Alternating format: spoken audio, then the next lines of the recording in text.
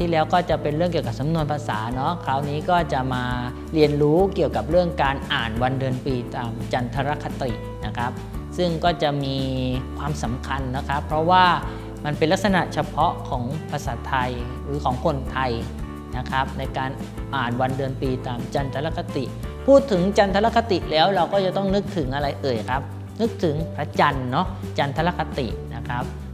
ปัจจุบันนี้เรา ใช้การบอกเดือนตามสุริยคตินะครับก็คือเดือนมกราคมก็เป็นเดือนแรกใช่ไหมครับ ไล่ไปจนถึงเดือน 12 ก็คือเดือนธันวาคมใช่ไหมครับปีหนึ่งก็จะมี 365 วัน 4 ปีก็จะมี 366 วันใช่ไหมครับ 4 ปีครั้งหนึ่งก็เป็น 366 วัน ในเดือนที่มีเดือนกุมภาพันธ์เดือนกุมภาพันธ์มี 29 วันนะครับ แต่ในภาษาไทยของเราเนี่ยก็มีการอ่านวันเดือนปีตามจันทรคติด้วย นะครับ ซึ่งเราจะสังเกตได้จากอะไรบ้างปฏิทินครับ ถ้าคุณครูจะสอนให้นักเรียนอ่านวันเดือนปีตามจันทรคติ ให้ลองนักให้นักเรียนนำปฏิทินมาครับ หรือที่เอามาง่าย ๆเลยครับ คือสูติบัตรครับ ในสูติบัตรของนักเรียนจะบอกไว้เลยว่า วันขึ้นเท่าไรเดือนอะไรอะไรยังไงนะครับ เพราะฉะนั้น วันนี้เราก็จะมาเรียนรู้เกี่ยวกับหลักการอ่านที่ถูกต้องของการอ่านวันเดือนปีตามจันทรคตินะครับ เราจะเริ่มนับวันครับ โดยวันอาทิตย์เนี่ยเป็นวันแรกนะครับ เพราะฉะนั้นเวลาเขียนเราจะสังเกตว่านะครับ เราจะสังเกตว่าตรงนี้นะครับจะเป็นลักษณะของการเขียนวันเดือนปีตามจันทรคตินะครับ ตรงนี้จะแสดงถึงวันครับ ตรงนี้จะมีเลขทั้งหมด ตั้งแต่ 1 ถึง 7 ครับ 1 ถึง 7 1 คือวันอาทิตย์ 2 จันทร์3อังคาร 4 พุธ5พฤหัสบดี 6 ศุกร์และ 7 เสาร์นะครับ เครื่องหมายนี้คือเครื่องหมายไปยันน้อยครับ เครื่องหมายไปยันน้อย ข้างบนจะสังเกตว่าอันนี้จะเลื่อนขึ้นเลื่อนลงได้นะครับ ข้างบนเราจะเรียกว่าข้างขึ้นครับ ข้างขึ้น ข้างล่างเราจะเรียกว่าข้างแรมครับ ขึ้นกับแรมข้างขึ้นข้างแรมนะครับ และตรงนี้จะเป็นอะไรครับ เดือนครับ ตรงนี้จะเป็นเดือนนะครับนะครับ ถ้าครูนะครับ เขียนว่า 1 1 1นะครับ1 1 1 เวลาอ่านเราจะอ่านเรียงตามลำดับต่อไปนี้ครับ อ่านตามวันเดือน แล้วก็ขึ้นแรมครับ ขึ้นแรมนะครับ อันนี้นะครับถ้าเขียน1 1 1อย่างนี้อันนี้เป็นข้างขึ้นหรือข้างแรมครับ ข้างขึ้น เพราะว่าอะไรครับมันอยู่บนปยันน้อยใช่ไหมครับ ข้างขึ้นเราก็จะอ่านที่ตรงเป็นที่ขึ้นนะครับ อย่างนี้นะ อะเลขที่ 1 ก็คือวันอะไรครับ วันอาทิตย์ เราก็เขียนคำว่าอาทิตย์ลงไปตรงนี้ วันอาทิตย์ เดือนเดือนหนึ่ง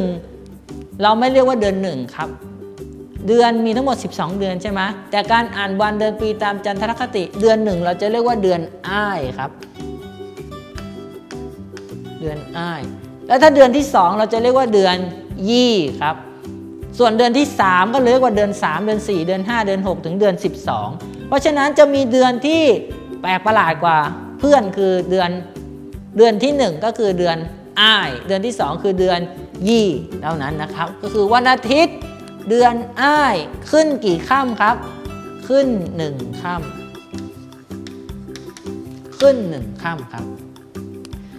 ขึ้น 1ค่ำนะครับเอาแล้วขึ้นกับขึ้นกับแรมเราจะดูตรงไหน ถ้าขึ้นอยู่บนเครื่องหมายไปยันน้อยครับ แต่ถ้าแรมคืออยู่ด้านล่างไปยันน้อยนะครับ เพราะฉะนั้นวันนี้จะเป็นวันอาทิตย์เดือนอ้ายขึ้น 1ค่ำนะครับ ขึ้น 1ค่ำนะครับ เราก็ใช้สอนนักเรียนได้นะครับ ทีนี้เราจะเปลี่ยนครับ เวลาเราเปลี่ยนนะครับ เราก็อาจจะเปลี่ยนตะกี้ขึ้นแล้วใช่ไหมครับ ก็เป็นแรมบ้าง ก็อาจจะเป็นเลข 3 นะครับ